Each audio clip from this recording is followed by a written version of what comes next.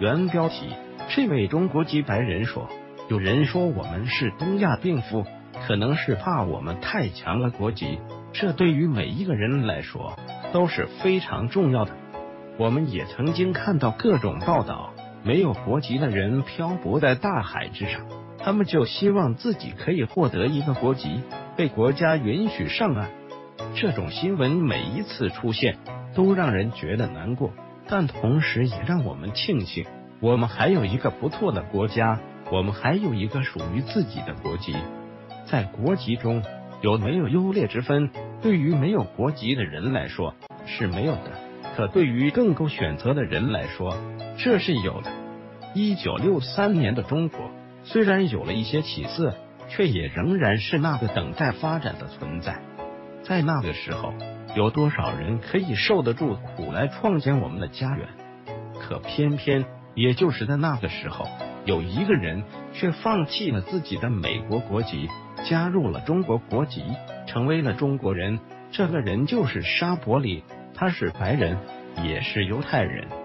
沙伯里是谁？应该很少有人会去关注他，但是不得不说，他是一位勇士。更是一个英雄。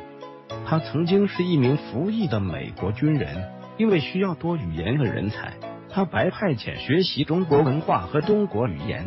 这一学是起点，更是中国与他的开始。一九四七年，他来到中国，这一次他在中国收获了人生，更收获了爱情。他的妻子凤子是上海的演员和作家。而与凤子的婚姻更让他对这个国家难以割舍。他开始积极的研究中国文学，更是开始翻译中国的文学。中国的文学是丰富的，想要翻译好，把中国翻译成外语来出书，这是一件比较困难的事情。但是沙伯里却做到了。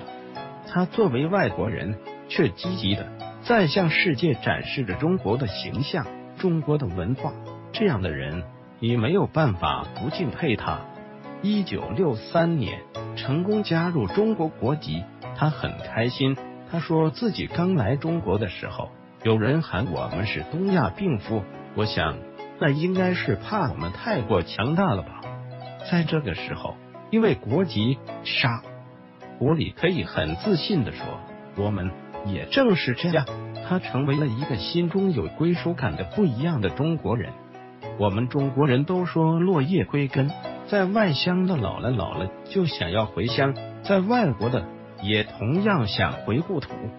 可对于沙伯里来说，他这一生大半辈子都在中国，中国就是他的根。我们很难想象，一个在其他国家拥有着美好生活的人，为何会甘愿放弃自己原先的国籍而选择中国？如果是如今的中国。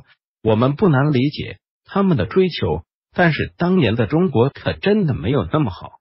我们那个时候贫穷落后，有的只是重塑家园的热情。如果非要说，我想吸引他们的是中国这个国家的底蕴，是中国的文化，更是蓬勃向上的一种精神。你是否认同呢？返回搜狐，查看更多责任编辑。